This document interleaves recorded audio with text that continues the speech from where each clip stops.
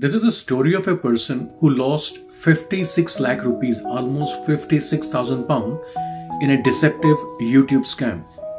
So one fine day, basically, uh, he got a message on a WhatsApp. Message basically was that if he wants to make money online, and all he needs to do was just to like some YouTube videos, subscribe to the YouTube channels, and take a screenshot and send it to the scammer.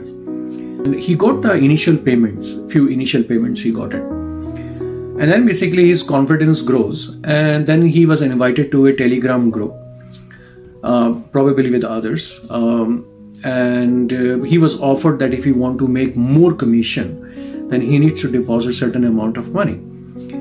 And uh, by the time basically started realizing that it is a scam he already deposited around 56 lakh rupees with the scammer. So what the lesson you can all us all of us can learn is like um, never share your personal financial information with anyone unless and until you're absolutely sure about the person or the company.